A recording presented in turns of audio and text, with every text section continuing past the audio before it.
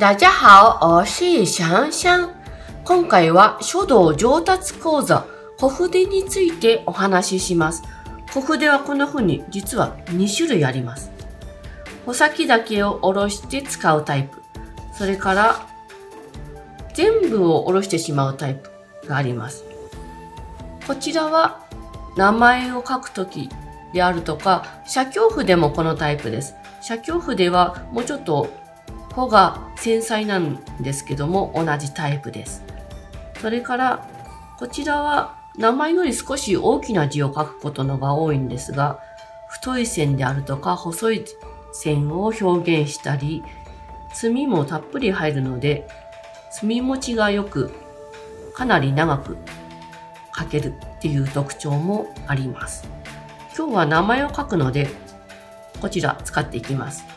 持ち方は鉛筆と一緒。人差し指と親指、中指で挟んで残りは丸めます。鉛筆はこのくらいの角度でいいんですが、筆ですと人差し指をもうちょっとぐーっと抱え込んできて、このくらい。それから手首も鉛筆の時よりもだいぶ立った状態になっているかと思います。これで書いていきます。肘はついたまんまで大丈夫です。でそれから左手を枕にするとより安定して書くことができます。なんですが、これですともう手首からこの腕の方が固定されてしまうので振り幅は小さいです。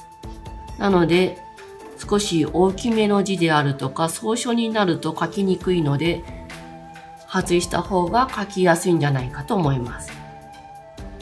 早速名前を書きながら練習していこうと思います。名前書くときは半紙を縦にのっこに折ると練習しやすいです。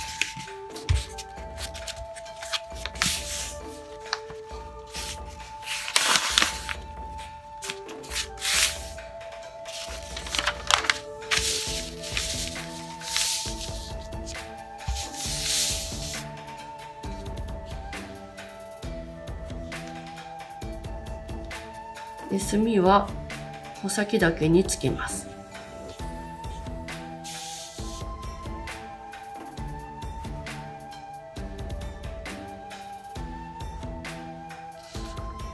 名前を書くときも本文と同じように丁寧に書いていきます。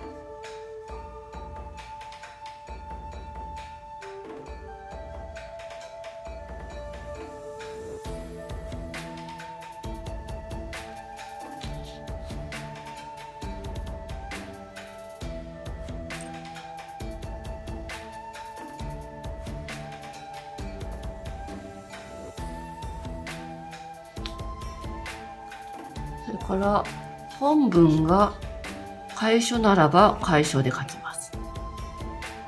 行書の時は行書で名前を書いていきます。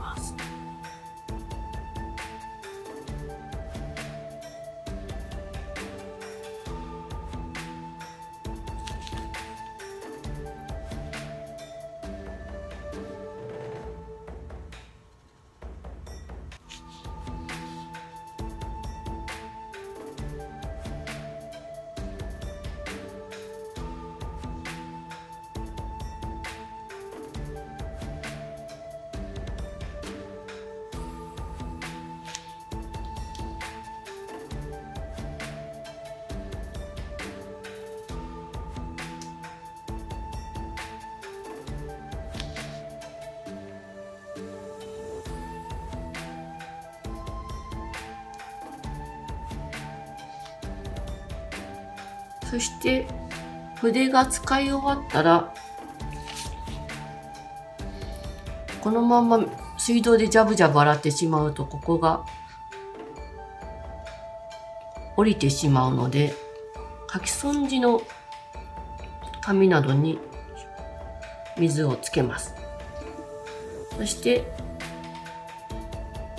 穂先をこすりつけて墨が出ぬ出なくなるまでこすりつければ OK です。あとはぶら下げて保管しておけば大丈夫です。では実際に本文を書きながら名前の入れ方練習していきましょ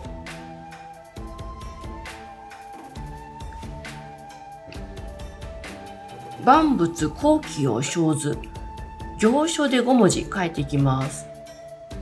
5文字なのでちょっと細めに書かないと入りきらなくなってしまうので気をつけてください。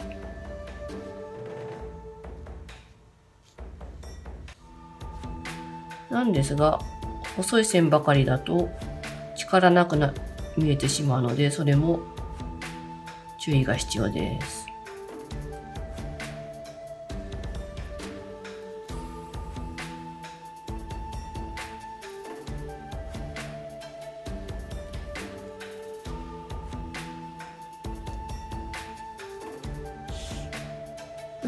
左に名前を入れるので左までぎっちり書かないように注意する必要があります。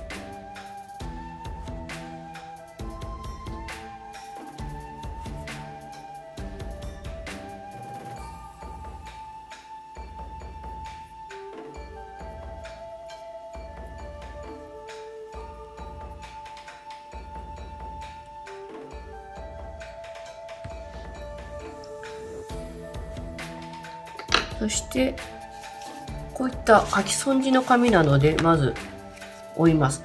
このまま書いてしまうと肘に墨がついて他のところにつけてせっかく書いたのを汚してしまうのでそれを防ぎます。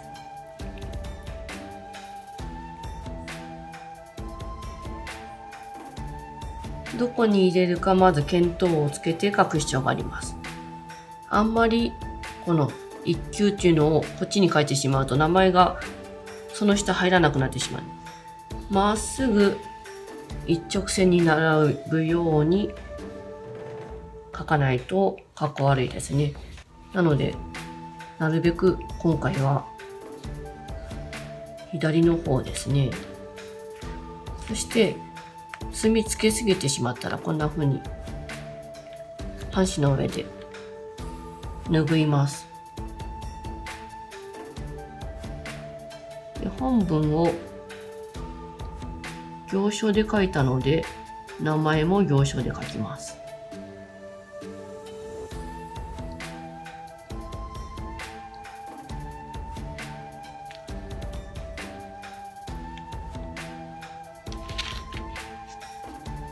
で名前は半分より上。そして一番下までならないくらい。ちょうどこの辺に収まるように。書きます。どう書くか先に決めます。だいたい均等に並ぶように書くのが美しいですね。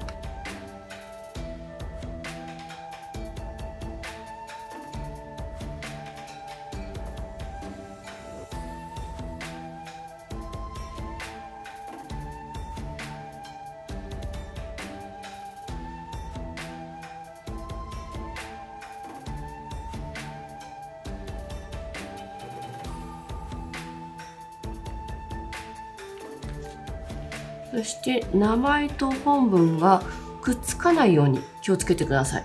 くっつくと非常に見栄えも良くないですし、場合によっては減点されることもあります。